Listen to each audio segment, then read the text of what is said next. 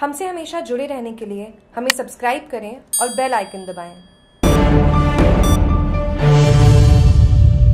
आठवें दिन भी रेस्क्यू है जारी सोजत रोड के निकटवर्ती बोरनड़ी बेरा समदड़ा में कुएँ में मलबे में दबे नरेंद्र के शव को निकालने के लिए रेस्क्यू जारी है आर्मी के मेजर मनीष के नेतृत्व में डीवाईएसपी सोजत हेमंत कुमार जाकड़ के सुपरविजन में आठवें दिन भी रेस्क्यू जारी है।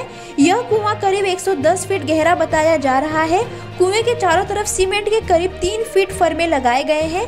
खबर लिखे जाने तक कुएँ में से करीब पाँच फीट मलबा बाहर निकाला गया है। मंगलवार को कुएँ पर करीब बारह लेबर व सेना के जवान काम कर रहे हैं। आज मौके पर सेना के मेजर मनीष व पुलिस उप अधीक्षक डॉक्टर हेमंत कुमार जाखड़, बगड़ी थाना अधिकारी बाबूलाल जांगीड़, सोजत रोड थाना अधिकारी सुनील कुमार, शिवपुरा थाना अधिकारी हरजीराम सेना के 27 जवान आरएससी व पुलिस कर्मी मौके पर मौजूद थे। जागरूक टीवी के सोजत से बाबूलाल पवार की रिपोर्ट।